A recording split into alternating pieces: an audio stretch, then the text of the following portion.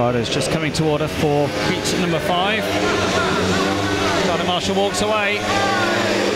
Fly where they go. Poor start for uh, Craig Cook, but Steve Worrall's made a good one. Worrall making it count from the inside and Worrall away. Here comes Sam Masters trying to come in the outside of his team partner. Kyle Howarth throws it into the top corner, but Worrall making it count from the inside. Spudley for Belle Vue. Craig Cook made a poor start. He's trying to hunt them down, trying to turn himself inside out. He's not too far behind. One mistake from uh, Sam Masters and Craig Cook will be through. Cook having a uh, good look down on the inside as Masters is searching for drive out wide. And here comes the Belle Vue number one, Craig Cook. Almost through on the inside of Sam Masters. He's done so, and now he'll go after Kyle Howarth.